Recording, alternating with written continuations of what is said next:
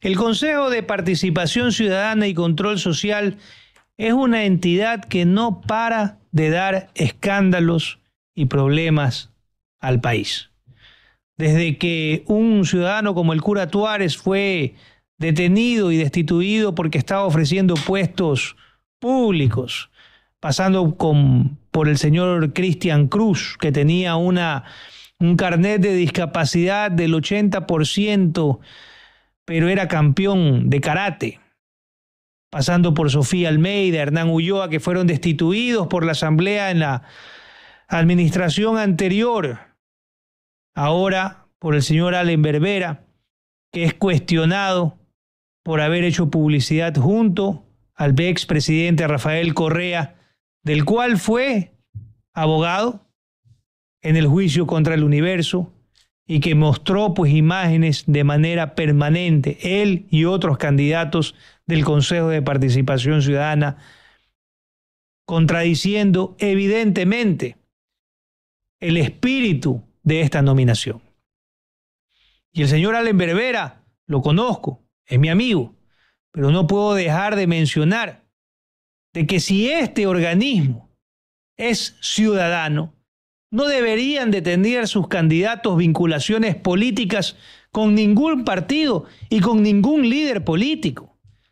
Lo contrario es tomarle el pelo a la ciudadanía. Lo contrario es mentirle al público. Y hoy enfrentan probablemente una destitución que tendrá que resolverse en el máximo organismo electoral. El presidente Lazo ofreció una consulta popular y un esfuerzo constitucional para poder eliminar a esta entidad. Esta entidad que ha causado bochornos al país por la forma en que han actuado algunos de sus miembros y algunos de sus presidentes.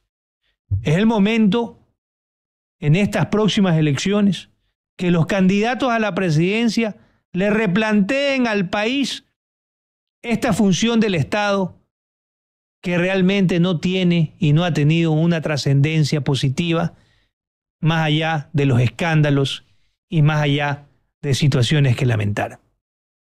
El país estará observando lo que sucede en esta decisión electoral, pero hay que superar la etapa en que disfrazados de ciudadanos llegan políticos a esta entidad en donde se justamente se nombran a las máximas autoridades de control del Estado ecuatoriano, como el Contralor, como el Fiscal General. Debemos de superar estos engaños públicos y obviamente tomar las decisiones que corresponden en democracia.